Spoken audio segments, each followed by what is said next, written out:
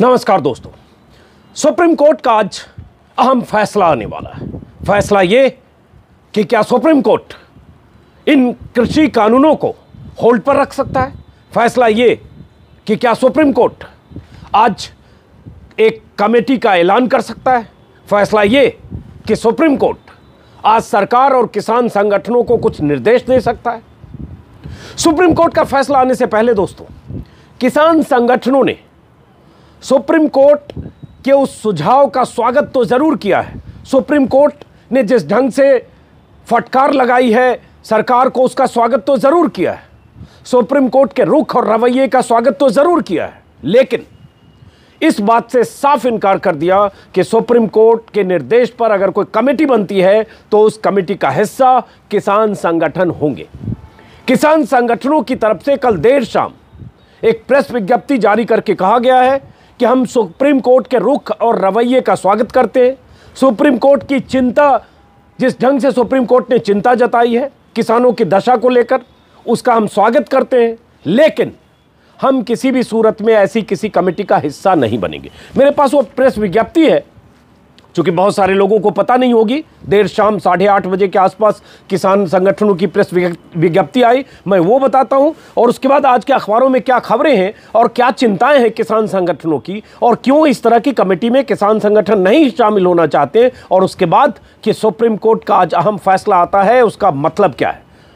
तो सबसे पहले उस विज्ञप्ति में किसान संगठनों ने सु, ने सुप्रीम कोर्ट में जो कल सुनवाई हुई दो घंटे तक पक्ष विपक्ष में जो दलीलें चली जिससे अखबारों की सुर्खियाँ आज भरी पड़ी हैं। उन दलीलों के बाद, देर शाम बैठक के बाद किसान संगठनों ने अपनी विज्ञप्ति में कहा है। मैं अंग्रेज़ी में विज्ञप्ति है, उसका हिंदी तर्जुमा आपको बता रहा हूँ, और उसके बाद बाकी चीज़ों पर कि हम किसान संगठन कानूनों को होल्ड करने के सुप्रीम कोर्ट के सुझाव का स्वागत करते हैं, लेकिन किसान किसी कमेटी का हिस्सा नहीं बनेंगे। सरकार का रवैया सुप्रीम कोर्ट में भी कानून वापस नहीं लेने वाला ही था, इसलिए साफ़ है कि सरकार उस कमेटी ने भी, में भी कानूनों की वापसी पर सहमत नहीं होगी। किसान संगठनों का कहना है कि हमारी लड़ाई कानूनों की वापसी को लेकर है, और इन्हीं, इसी मुद्दे पर लगातार नौ बैठकें हो चुकी हैं। दसवीं बैठक की तारीख मुकर्र है पंद्रह जनवरी। मैं इस नौवीं बैठक जब कहता हूँ तो अमित शाह से एक बैठक हुई, उसको जोड़कर कहता हूँ, जब सरकार इस पर बात करने को ही नहीं तैयार है कि हम कानून वापस लेंगे, सिर्फ़ संशोधन पर बात करने को तैयार है तो किसान संगठनों का कहना है, ऐसी किसी भी कमेटी का हिस्सा बनने का कोई मतलब नहीं। उसी विज्ञप्ति में कमेटी ने लिखा है हमने अपने कानूनी सलाहकारों से बात की है और आम राय से फैसला किया है कि सुप्रीम कोर्ट की तरफ़ से गठित समिति में हम शामिल नहीं होंगे। आगे लिखा है, हमारे वकीलों ने अदालत में कहा था कि सुनवाई अगले दिन भी जारी रहे। अगले दिन मतलब आज, सुनवाई कल हो रही थी, ग्यारह, आज है बारह। ताकि किसान संगठनों से भी सलाह मशवरा किया जा सके, लेकिन हमें यह जानकर निराशा हुई कि सुनवाई जारी रखने की बजाय सुप्रीम कोर्ट ने ऑर्डर सुनाने का फैसला किया है। आज सुप्रीम कोर्ट ने ऑर्डर फैसला सुप्रीम कोर्ट ने कल संकेत दे दिए थे कि आज ऑर्डर सुनाया जाएगा। तो किसान संगठनों का कहना है कि इस पर तर्क वितर्क दलीलें होनी चाहिए थी। किसानों का पक्ष भी रखा जाना चाहिए था, लेकिन आज सिर्फ़ फैसले का दिन है। हमें इससे निराशा हुई है। हमारा पक्ष उस तरह से नहीं सुना गया। ये बहुत सारे किसान नेताओं का कहना है। उनके हवाले से छिटपुट खबरें अखबारों में कहीं कहीं छपी है। कुछ वेबसाइट पर छपी और कुछ हमसे किसी किसान नेता ने जो बातचीत हुई, उसके हिसाब से किसान नेताओं ने कहा है।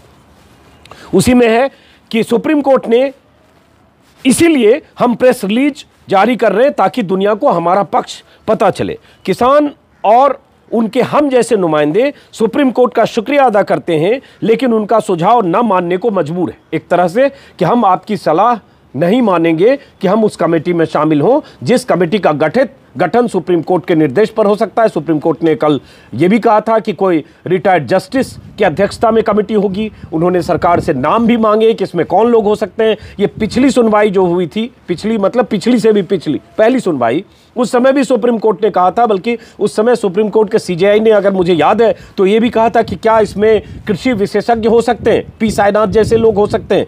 ये सारी चर्चा हुई थी। किसान संगठनों को लगता है कमेटी का स्वरूप क्या होगा, कौन होंगे, क्या होंगे, और उसके बाद कमेटी का अगर ये एजेंडा ही नहीं है कि इन कानूनों की वापसी पर वहाँ विचार, विमर्श और उस पर कोई फैसला हो तो फिर इस कमेटी में हिस्सेदारी, भागीदारी का कोई मतलब नहीं है। उसी में किसान संगठनों ने आगे लिखा है, हमारा संघर्ष करोड़ों किसानों के कल्याण से जुड़ा है, जनता के हित में है पब्लिक इंटरेस्ट में है, जबकि सरकार ये प्रोपेगेंडा फैला रही है कि ये सिर्फ़ पंजाब का आंदोलन है। मैं प्रेस विज्ञप्ति को पढ़ रहा हूँ, बीच में मेरे कमेंट है, जो आप समझ पा रहे होंगे। ये आंदोलन हरियाणा, यूपी, राजस्थान, एमपी, पंजाब, महाराष्ट्र और उत्तराखंड के किसान भी बॉर्डर पर कर रहे हैं, प्रदर्शन कर रहे हैं, जमा है। इसलिए सरकार का प्रोपेगेंडा गलत है कि ये सिर्फ़ पंजाब का आंदोलन है। ये दो पन्ने की विज्ञप्ति का हिंदी अनुवाद मैंने बताया। अब सवाल उठता है कि अगर किसान संगठन, अगर किसान यूनियन सुप्रीम कोर्ट की तरफ़ से अगर किसी कमेटी का गठन होता है और उस कमेटी में हिस्सेदारी से इनकार कर चुके हैं तो फिर उस कमेटी का मतलब क्या है? एक बड़ा सवाल है। और कल शाम को इसलिए शायद, चूँकि आज फैसला आने वाला था, इसलिए किसान संगठनों ने साढ़े आठ बजे शाम को यह प्रेस विज्ञप्ति जारी करके दुनिया भर को बता दिया कि हम किसी कमेटी का हिस्सा नहीं है। अब बात आती है कि यहाँ से बात क्या होगा? कुछ देर के बाद हो सकता है सुप्रीम कोर्ट का फैसला है। किसान संगठनों को लगता है कि अगर इस, इन कानूनों को होल्ड किया जाए, चलिए अच्छी बात है, लेकिन उसके बाद आंदोलन हम खत्म नहीं करेंगे जब तक ये कानून वापस नहीं होंगे। रात में भी मैंने राकेश टिकैत से बात की थी, उन्होंने भी कहा, बाकी किसान नेता भी करें डॉक्टर दर्शन पाल, जो क्रांतिकारी किसान यूनियन के अध्यक्ष हैं, उनका भी बयान है कि जब तक कानून वापसी नहीं, तब तक घर वापसी नहीं।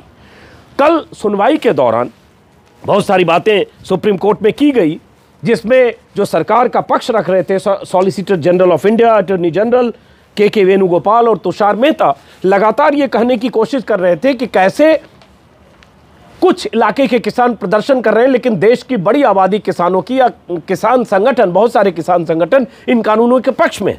तब भी एक तरह से सुप्रीम कोर्ट ने साफ़ साफ़ फटकार लगाते हुए कहा था कल सुप्रीम कोर्ट ने कि अब तक एक भी ऐसी अर्जी नहीं आई जो कहती हो कि ये कानून अच्छे हैं। इसके अलावा सुप्रीम कोर्ट ने जो अहम बात कही कि अगर जिस ढंग से जो हालात बन रहे हैं किसानों की खुदकुशी, आत्महत्या, बुज़ुर्ग महिलाओं का होना, उसके बाद उनकी रणनीति के तहत 26 जनवरी का ऐलान, इन सब चिंताओं के मद्देनज़र शायद सुप्रीम कोर्ट का संकेत ये कहने का था, जिसमें कहा कि कल को कोई खून खराबा होगा तो हमारे हाथ पर भी खून के छींटे पड़ेंगे और उसकी ज़िम्मेदारी हम सब की होगी, इसलिए हम फैसला करेंगे। और सरकार के रवैये को लेकर सुप्रीम कोर्ट ने काफ़ी फटकार लगाई। ये सब सही है, लेकिन कुछ किसान नेताओं का कहना है कि ये एक दलीलों के बीच संवाद है। ये टिप्पणियाँ हैं, ये फैसला नहीं है। और अगर फैसला ऐसा आता है, जिससे लगता है कि इस फैसले से हमारा भला नहीं हो रहा, हम एक कमेटी के ट्रैप में अगर जाते हैं, और वो कमेटी फिर अनंत काल तक उस उस मुद्दे पर बहस ही नहीं करती है, जिस पर हम चाहते हैं, बात फिर संशोधनों पर अटकती है, जो लगातार सरकार के साथ बैठकों में हो रही है तो फिर किसी कमेटी में शामिल होने का मतलब क्या है? ये किसान नेताओं का कहना है, आज के अखबारों की बात करें दोस्तों। हर अखबार की वही हेडलाइन है। और ये अखबारों की सुर्खियों का विश्लेषण या अखबारों में क्या छपी, वो बताता इसलिए हूँ ताकि आपको बहुत सारे लोग जो अखबार नहीं पढ़ते हैं, उन्हें भी पता चले किस अखबार में क्या छपा। दैनिक हिंदुस्तान ने विस्तार से छापा है, कानूनों पर अमल रोकें वरना हम रोकेंगे, जो पहली और बड़ी बात थी कल जो सुप्रीम कोर्ट ने कही।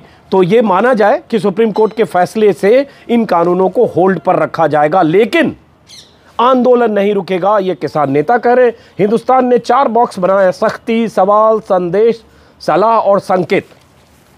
क्या क्या कहा गया? अटॉर्नी जनरल ने क्या कहा? और कैसे फटकार लगी सरकार की नुमाइंदगी करने वाले सॉलिसिटर जनरल को? कि आप हमें ये दलील मत दीजिए, लेक्चर मत दीजिए, हमने काफ़ी वक्त दे दिया आपको। और उसके बाद अदालत ने जो चिंता व्यक्त की है, कि इस साथ में ये भी कहा कि किसान प्रदर्शन जारी रख सकते बहुत अहम बात कल सुप्रीम कोर्ट ने यह भी कही थी। अदालत किसी को यह कहने का मौका नहीं देना चाहती कि उसने विरोध के सुर दबा दिए। लेकिन बात वही है कि ये सलाह कि बुज़ुर्ग और महिलाएँ, बच्चे, ठंड में क्यों हैं, उन्हें घर भेज दिया जाए। तो ये हिंदुस्तान में जो चार बॉक्स है, मैं बॉक्स यहाँ लगा दे रहा हूँ। चूँकि अच्छे ढंग से ग्राफिकल दैनिक हिंदुस्तान ने छापा है, लेकिन सरकार को फटकार में बहुत बातें कही सुप्रीम कोर्ट ने। कल के दोनों वीडियो में मैंने ये बताया है, जिसमें साफ़ साफ़ कहा कि सरकार ने इस मसले को ठीक से हल नहीं किया। यहाँ तक कि सरकार ने जितना कंसल्टेशन करना चाहिए, वो नहीं किया, और इसलिए ये स्थिति आई। लेकिन सवाल ये उठता है कि अब जो सुप्रीम कोर्ट करने जा रहा है, वो किसके लिए फ़ायदेमंद है? क्या सरकार जो मुश्किल में है उस मुश्किल से सरकार निकलेगी? या किसान नेता जो मांग कर रहे हैं या जिन मुद्दों को लेकर, जिन मांगों को लेकर आंदोलन कर रहे हैं, उसका समाधान निकलेगा। किसान नेताओं को लगता है इससे हमें फ़ायदा होता नहीं दिख रहा है। कानून होल्ड होगा, लेकिन कानून की वापसी नहीं होगी। और आज अगर हम कानून के होल्ड करने और कमेटी का हिस्सा बनकर, जिस कमेटी का एजेंडा ही ये नहीं है, हम अगर आंदोलन विड्रॉ करते हैं तो ढाक के बाद फिर वही होंगे। हम 48 दिन बाद यहाँ पहुँचे, उसके बाद फिर पता नहीं कहाँ होंगे। इस तरह की आशंकाएँ किसान नेताओं ने जो बातचीत में छिटपुट मीडिया से बातचीत की है उससे पता चला। अब हो ये रहा है दोस्तों कल की फटकार कल की बात सुप्रीम कोर्ट के अगर बिटवीन द लाइन्स पढ़ने की कोशिश करें तो सुप्रीम कोर्ट किसानों की स्थिति और किसान नेताओं आ, की जो मांग है उसको लेकर चिंतित ज़रूर दिखता है। लेकिन उनकी चिंता जब उनका फैसला होगा सुप्रीम कोर्ट का उस फैसले में शामिल होगा क्या? क्योंकि कल ये भी हुआ कि जब तुषार मेहता ने कुछ सुप्रीम कोर्ट में बहस के दौरान ये भी कहा कि भारी संख्या में किसान संगठन इन कानूनों को फ़ायदेमंद बता रहे तब सुप्रीम कोर्ट के सीजीआई ने तो कहा ही कि हमारे सामने अभी तक कोई ऐसा नहीं आया और उसके बाद ये भी कहा कि हम समझ नहीं पा रहे कि आप समस्या का हिस्सा हैं या समाधान का, किसानों से गंभीरता से बात करनी चाहिए, उनका भरोसा जीतना चाहिए और साथ में ये कि आपको हम पर भरोसा हो या ना हो, हम सुप्रीम कोर्ट हैं, हम अपना काम करेंगे।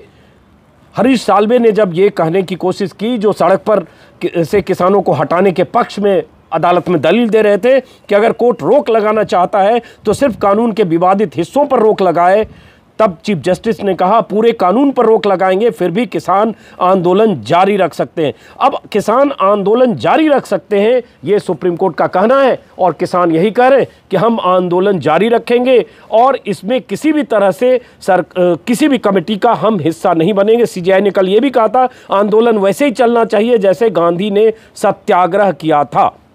अब इसके बाद, आगे की बात दोस्तों, हुआ ये कि अभी भी किसानों के आंदोलन के दौरान आज कितनी ठंड है, इसकी कल्पना शायद अगर आप दिल्ली में नहीं हैं तो नहीं कर पाएँगे। सिहरन वाली ठंड, ठंडी हवाएँ, और जहाँ मैं हूँ, कुछ दूर यहाँ गाज़ीपुर बॉर्डर पर बैठे हैं। यूपी के, उत्तराखंड के अलग अलग इलाकों से आए किसान और ऐसे ही दिल्ली की सीमाओं पर।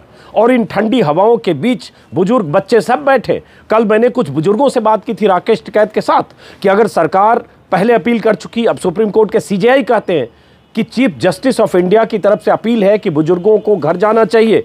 उन्होंने ये ज़िम्मेदारी कल एच एस फुल्का को दी कि आप उनको समझाएँ। जो एच एस फुल्का किसानों का पक्ष रख रहे थे सुप्रीम कोर्ट में, तब भी बुज़ुर्गों ने कहा, हम नहीं जाएँगे। आप वीडियो में देख सकते हैं, राकेश टिकैत के साथ कुछ बुज़ुर्गों के बीच मैं था, लेकिन हर बुज़ुर्ग ने कहा, हम नहीं जाएँगे।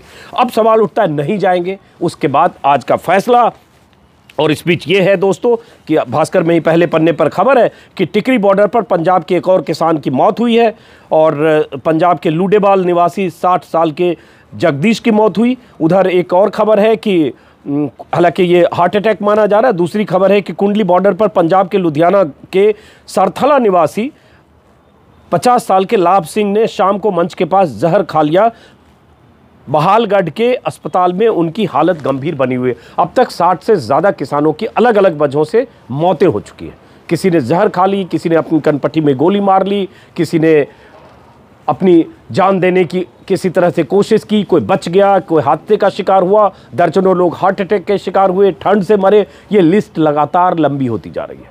लेकिन किसानों की इन मौतों पर सरकार की तरफ़ से चुप्पी और सन्नाटा है। कहीं कोई चिंता नहीं है, कहीं कोई चिंता नहीं उल्टे इन किसानों को देश विरोधी खालिस्तानी, चीनी, पाकिस्तानी न जाने क्या क्या कहने की कोशिश, साजिश मैं कहूँगा, और इन्हें डिस्क्रेडिट करने की कोशिश, और मुहिम मैं कहूँगा। ये लगातार सरकार के पक्षकारों की तरफ़ से, सरकार समर्थक पत्रकारों की तरफ़ से, बीजेपी नेताओं की तरफ़ से, सबकी तरफ़ से लगातार ये बात चल रही है, लेकिन सुप्रीम कोर्ट ने कम से कम किसानों के आंदोलन को मानवीय आधार पर कुछ देखा। सरकार की तमाम दलीलों के बाद कि इन्हें सड़क से हटा दिया जाए, इन्हें आंदोलन इनका खत्म कराया जाए, ऐसी मंशा को सुप्रीम कोर्ट ने एक तरह से खारिज किया। लेकिन क्या सुप्रीम कोर्ट इन्हें जगह बदलने को कह सकता है? ये एक सवाल है आज के फैसले में। कल हुआ ये भी है, जो टाइम्स ऑफ़ इंडिया ने आज खबर छापी है कि कल जिस पर आज हो सकता है सुनवाई हो, कि दिल्ली पुलिस की तरफ़ से, सरकार की तरफ़ से मान लें, चूँकि दिल्ली पुलिस केंद्र सरकार के अधीन है, सरकार की तरफ़ से 26 जनवरी को किसानों के विरोध प्रदर्शन और ट्रैक्टर रैली को रोकने के लिए सुप्रीम कोर्ट में अर्जी दी गई है। और, इस अर्जी का मकसद ये है, यहाँ खबर है 11 नंबर पेज पे, government goes to SC to stop Republic Day rally, says it could be a big embarrassment. Supreme court में कहा है, दिल्ली पुलिस ने कि अगर 26 जनवरी को जैसे किसानों ने ऐलान किया है, उस तरह से ट्रैक्टर मार्च किया, दिल्ली में दाखिल हुए किसी भी सड़क पर, किसी भी तरह से तो ये एम्बेरसमेंट होगा सरकार के लिए और जो गणतंत्र दिवस की गौरवशाली परंपरा है, उस परंपरा पर चोट पहुंचेगी, ये कहकर सुप्रीम कोर्ट में अर्जी दी है। हो सकता है इसकी सुनवाई हो। दिल्ली पुलिस के ज्वाइंट कमिश्नर जसपाल सिंह की तरफ़ से सुप्रीम कोर्ट में अर्जी दाखिल की गई है, जिसमें कहा गया है कि 26 जनवरी का कार्यक्रम रिहर्सल से लेकर बीटिंग द रिट्रीट जो 29 जनवरी को होता है, तक होता है 29 जनवरी तक होता है मतलब चार, पाँच छः दिन पहले से जब रिहर्सल शुरू होती है और उसके बाद बीटिंग रिट्रीट तक। और इस दौरान अगर किसान ट्रैक्टर रैली करेंगे तो इतने बड़े समारोह की गरिमा पर चोट पहुंचेगी, देश के सामने भी एम्बेरसमेंट की स्थिति पैदा होगी, इसलिए इन्हें रोका जाए। दूसरी तरफ़ राकेश टिकैत, गुरनाम चढ़ूनी और जो दर्शनपाल, तमाम जो किसान नेता हैं, वो कह रहे हैं कि हम ट्रैक्टर रैली करेंगे, कैसे करेंगे, कब करेंगे, उसको लेकर कई तरह के बयान हैं। कुछ कह रहे हैं हम राजपथ पर जाएँगे, लेकिन फिर ये खबर आई कि वो कह रहे हैं कि हम दिल्ली में मार्च करेंगे और ये मार्च ही सरकार के लिए सबसे बड़ा सरदर्द है। हो सकता है सुप्रीम कोर्ट आज इस बारे में कोई फैसला करे। कल ये भी हुआ कि किसान आंदोलन की तरफ़ से प्रेस कॉन्फ्रेंस करके कुछ जानकारी दी गई, जो उसी, उन्हीं बातों को दोहराया गया कि 13 जनवरी को किसान संकल्प दिवस मनाया जाएगा। कृषि कानूनों की कॉपी जलाएँगे। मकर संक्रांति को 18 जनवरी को किसान महिला दिवस के रूप में मनाएँगे। 23 जनवरी को नेताजी सुभाष चंद्र बोस की जयंती मनाएँगे। उस दिन ट्रैक्टर से निकलेंगे और राजभवनों का घेराव करेंगे अलग अलग राज्यों में। और 26 जनवरी के लिए तैयारी और तेज की जाएगी। कमेटी बनाकर हर घर से 26 जनवरी के आंदोलन में शामिल होने की अपील करेंगे। तो इस तरह के किसान आंदोलन जिस ढंग से किसान यूनियन अपने आंदोलन को तेज करने की अपील कर रहा है, रणनीति बना रहा है, वो सरकार में उसकी बेचैनी है और शायद सरकार उम्मीद कर रही है कि सुप्रीम कोर्ट का कोई ऐसा फैसला सरकार के पक्ष में है जिससे किसान रणनीतिक तौर पर ये सब चीज़ें ना कर पाए। तो देखना है क्या फैसला आता है। इस बीच हुआ ये कि खट्टर की रैली करनाल में नहीं होने दी गई। आपने देखा होगा, बहुत सारे किसानों ने मंच पर तोड़फोड़ की, हेलीपैड को नुकसान पहुँचाया, वहाँ शोर, हंगामा, सब कुछ किया करनाल के उस गाँव में जहाँ खट्टर रैली करने वाले थे, हवा में हेलीकॉप्टर उनका उड़कर वापस लौट गया, क्योंकि उस गाँव के किसान, उन आंदोलनकारी किसानों के साथ थे जो आसपास से भी आए थे, और बीजेपी के समर्थक किसान जो तादाद में बहुत कम थे, वो उनकी मौजूदगी भी खट्टर को रैली करने लायक माहौल बनाने में खट्टर कामयाब नहीं रहे, और इसलिए खट्टर को लौटना पड़े। हुआ ये कि उसके बाद गुरनाम चढ़ूनी जो किसान नेता हैं, उनके खिलाफ और करीब करीब 700 लोगों के खिलाफ एफआईआर की गई है। सरकारी संपत्ति को नुकसान पहुँचाने से लेकर मुख्यमंत्री के कार्यक्रम में बाधा डालने को लेकर, हालाँकि खबर में देख रहा हूँ कि गुरनाम चढ़ूनी ने ज़िम्मेदारी ली है और कहा हाँ हमने खट्टर साहब को रैली करने से रोका। भाजपा ने कहा था किसान आंदोलन को तोड़ने के लिए 700 रैलियाँ की जाएगी तो हम ऐसी रैलियों का विरोध करेंगे। ये गुरनाम चढ़ूनी का बयान है। ऐसी बहुत सारी खबरें हैं। आज मैं कुछ देर के बाद मैं कोशिश करूँगा कि मैं फिर किसानों के बीच जाऊँ, कुछ बुज़ुर्गों के बीच जाऊँ, उनकी बात आपको बताऊँ। लेकिन उससे पहले एक और बात कि आज दुष्यंत चौटाला, हरियाणा के डिप्टी सीएम और हरियाणा के मुख्यमंत्री मनोहर लाल खट्टर दिल्ली पहुँच रहे अमित शाह से मुलाकात है। हरियाणा बीजेपी के कुछ और नेता होंगे। हरियाणा में 90 सीटों की विधानसभा में 40 बीजेपी है 10 जेजेपी है। सात निर्दलीय हैं, जिसमें पाँच सरकार को समर्थन दे रहे हैं, चालीस, दस, पचास और पाँच, पचपन। पचपन विधायकों का समर्थन है, कहा जा रहा है जेजेपी के विधायकों पर किसानों का ज़बरदस्त दबाव है। निर्दलीय विधायक भी चिंतन मनन कर रहे हैं। बीजेपी के विधायकों में बेचैनी है, क्योंकि बीजेपी विधायकों का, मंत्रियों का, मुख्यमंत्रियों के, मुख्यमंत्री के कार्यक्रम किसान नहीं होने दे रहे। दुष्यंत चौटाला ने दिल्ली में अपने विधायकों की बैठक बुलाई है। एक्सप्रेस के मुताबिक पहले पन्ने पर एक्सप्रेस में है। एक्सप्रेस के मुताबिक अपने फार्म हाउस पर बैठक बुलाई है। उनकी उनकी राय, उनका रुख जानना चाहते हैं और उसके बाद अमित शाह से इनकी मुलाकात होगी, क्योंकि ये बेचैनी केंद्र में है कि हरियाणा में क्या स्थिति है। अब ये देखना होगा कि क्या दुष्यंत चौटाला किसी दबाव में आते हैं। अभी तक ऐसा नहीं लग रहा है। और उसके बाद निर्दलीय जो विधायक हैं पाँच, उनसे कल खट्टर ने मुलाकात की।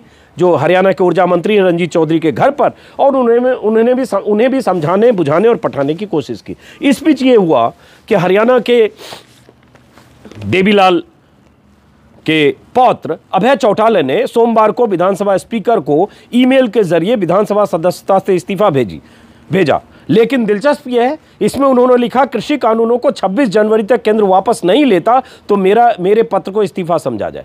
अब यह साफ़ है कि कंडीशनल इस्तीफा नहीं होता है।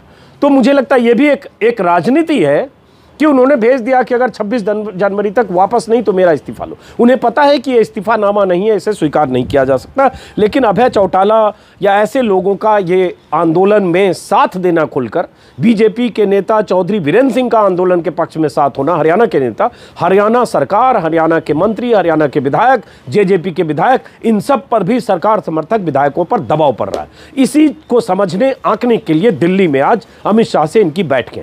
फ़िलहाल सुप्रीम कोर्ट के फैसले का इंतज़ार रहेगा दोस्तों।